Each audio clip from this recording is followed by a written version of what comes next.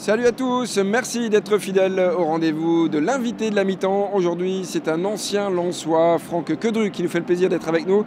Franck, bonjour. Bonjour. Alors Bonjour Franck, à tous. euh, la- cette petite rubrique est destinée à prendre des nouvelles d'un ancien. Tu es un ancien Lançois, ancien footballeur professionnel, mais aujourd'hui, ton quotidien, c'est quoi? Euh, Mon quotidien, c'est de, de prendre un peu euh, les demandes de clubs anglais. Puisque, comme tu le sais, j'ai joué 9 saisons là-bas. Donc, j'ai gardé quelques contacts. Euh, je me suis associé avec mon ancien agent. Donc, moi, je prends les demandes de clubs anglais. Et euh, bah, on essaie de trouver les joueurs qui peuvent correspondre à ces demandes.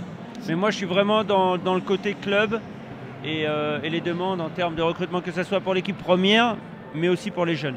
D'accord, donc c'est-à-dire que tu proposes des joueurs, enfin, les, jou- les clubs anglais te demandent, euh, voilà, on a tel besoin, tel besoin. Toi, tu dis, voilà, j'ai un joueur qui peut peut-être correspondre à, à votre Voilà, après, si on n'a pas le joueur qui, qui est avec nous, on essaie de chercher le joueur qui peut correspondre le mieux à ce profil.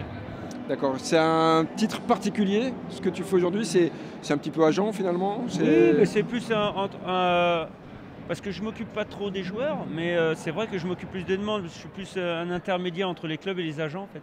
D'accord, il n'y a pas tout l'aspect financier, tout ça, ça tu t'en occupes pas, c'est vraiment non, trouver voilà, la le bon profil. pour les joueurs, les trucs, c'est pas moi. À part ça, euh, bon, t'es- tu l'as dit, hein, avec quasi agent, mais tu prends aussi beaucoup de plaisir parce que tu as toujours beaucoup de contacts avec euh, le club de ton cœur, le club sans et or. Oui, tout à fait. Non, Lens, hein, euh, je sais pas, c'est pas un secret pour tout le monde.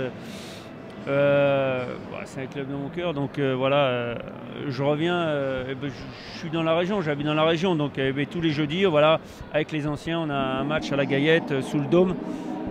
Et c'est ce que je dis, je prends du plaisir à revoir tout le monde à chaque fois. Voilà, le plaisir, que du plaisir maintenant quand on joue au foot. Oui, c'est ça. Après, c'était c'était un métier, mais c'était aussi une passion avant tout. Et je rigole parce que je pense à un sketch. je suis gardien de la paix avant tout.